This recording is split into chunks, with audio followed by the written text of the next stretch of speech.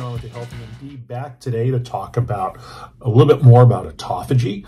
Um, what I wanted to talk about today was the role of exercise in inducing autophagy and how that can play a major role as far as helping keeping you healthy or move you back onto the path of, um, of getting healthier. So let's kind of dive in and talk a little bit more about it. Now, if you're not familiar with the term autophagy, what it stands for is a two Greek words that stand for auto, which is self, and phage, which is eating, so self-eating. And autophagy is essentially the recycling mechanism of all of our cells.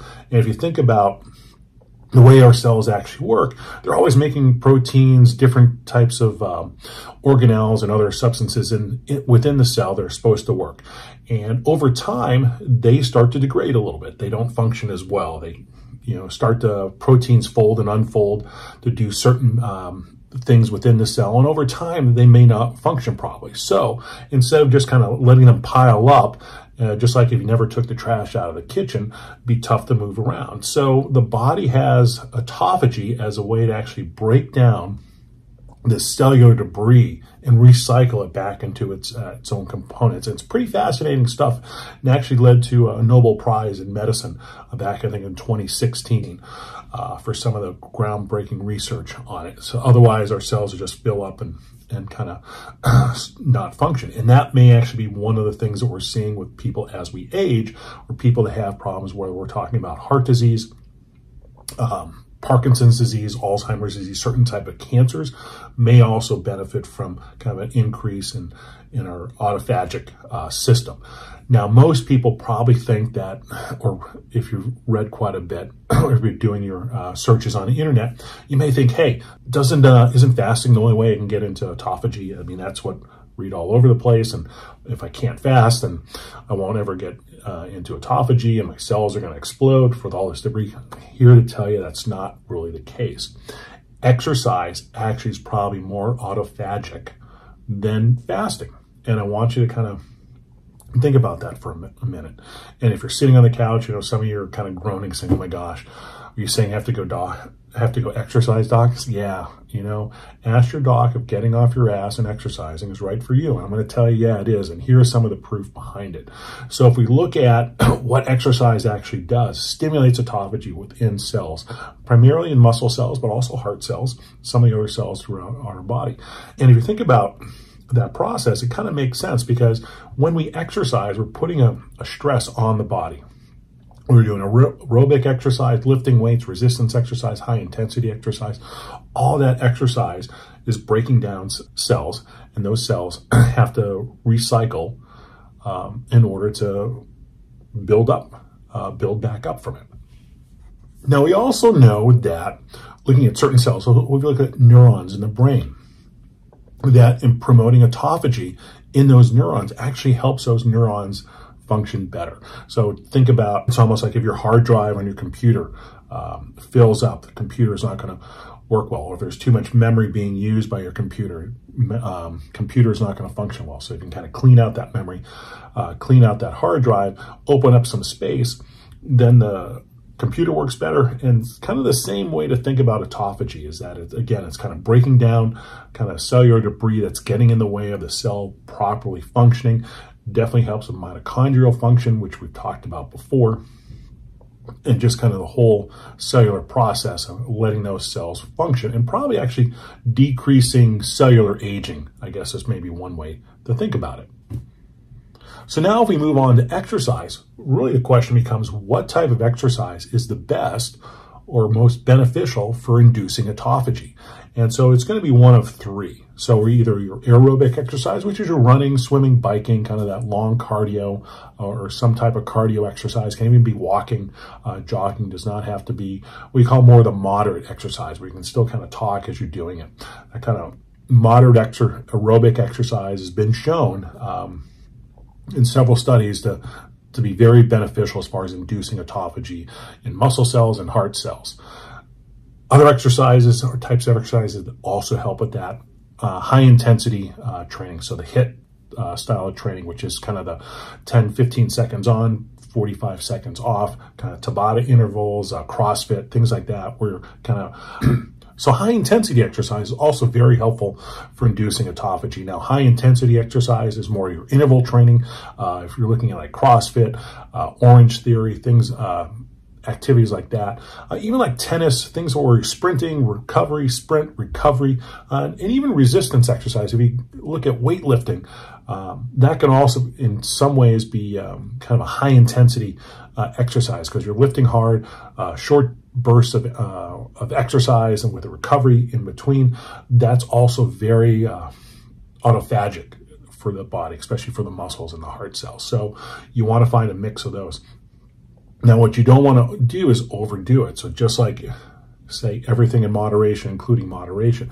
Too much exercise can actually inhibit autophagy. And this is where people get into overtraining. Uh, you look at people that are kind of chronic exercises and the exercisers, and they may not look that healthy, uh, even though they're always working out. That may be the thing they've actually blunted their body's ability to clean out their cellular debris and they're building up, building up, and they never truly recover from that extra continuing bouts of exercise that they're putting on there. So again, kind of find that sweet spot uh, in between where, where we're exercising. And then obviously, if you're new to exercise, you want to go talk to your doctor first. Make sure, hey, is everything okay before you start off there? So that's kind of a typical disclaimer I always throw in, is that you want to make sure, you know, if you're starting, you just don't want to start off and and jump off the couch and go join CrossFit. Again, get into a, a, walking program, jogging program, kind of build up from there. Get into the gym, work with a personal trainer, kind of someone to kind of build you up, and then kind of go uh, into the more high intensity training once you actually have that baseline fitness. So it's not something you just want to uh, start off right away with.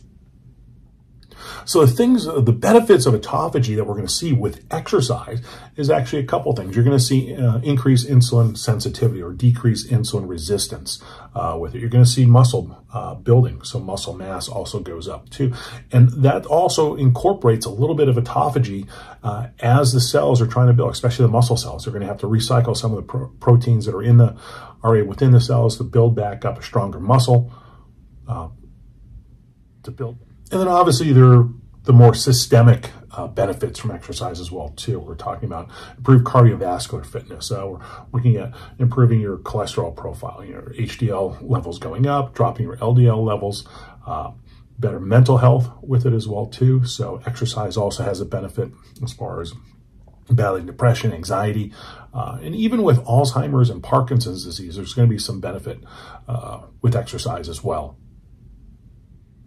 So what are the things you need to look out for? Or how can you mess up exercise on autophagy? And I think I already touched on that a little bit before. Doing too much too soon, uh, over exercising. So kind of getting the chronic exercisers, you need to kind of let your body recover with that as well too. Uh,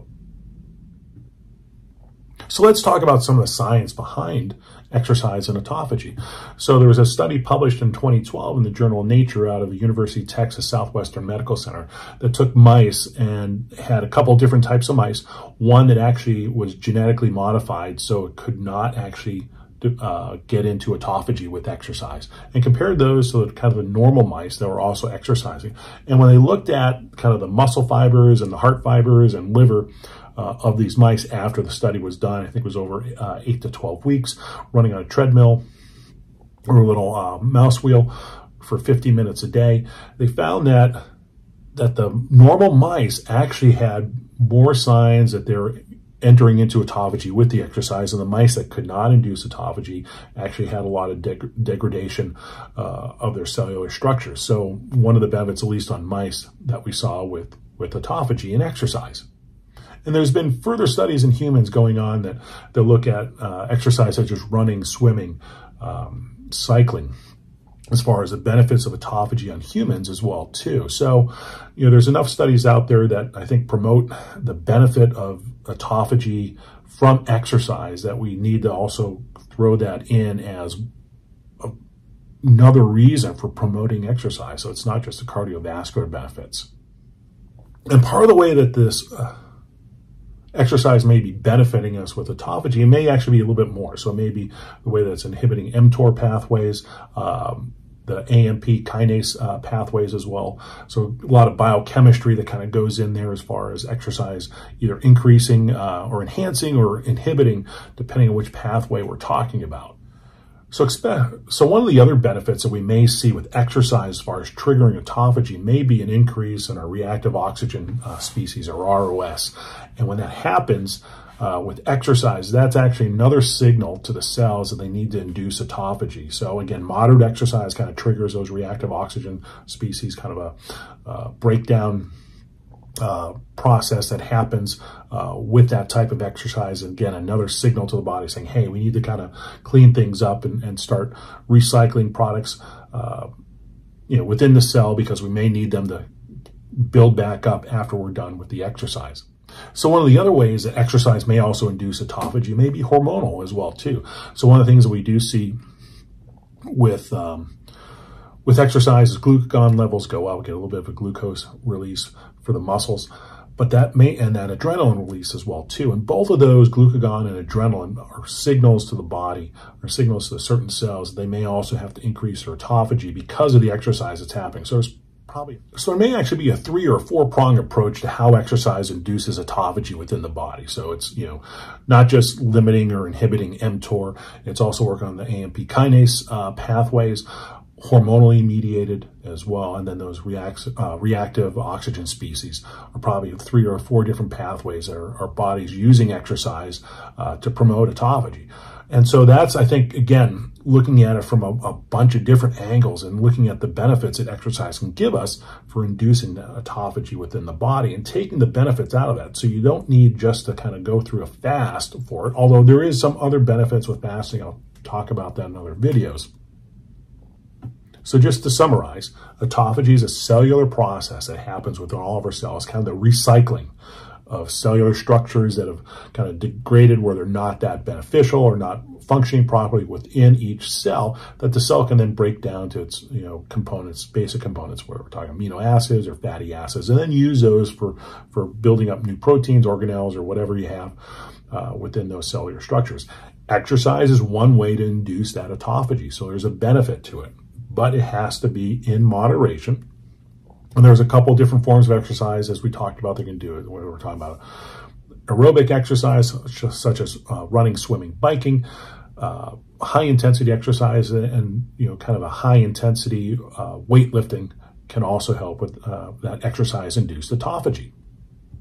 So hopefully that was a little helpful as far as getting folks to understand that there's other ways to get into autophagy, not not just fasting. Although this is not a knock on fasting, I think there's a lot of benefits from fasting, whether we're doing intermittent fasting or prolonged fasting.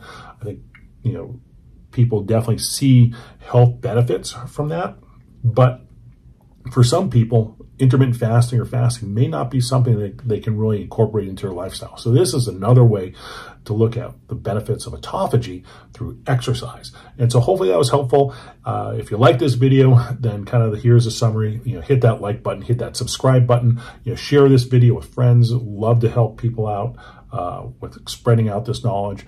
And then write down in the comments if you want to see something else from uh, from me, other topics you want to cover, or if you need clarification. Always, um, always love to help out. Always love to answer questions. Hey, this is Dr. John with the Healthy MD, and glad to have you aboard.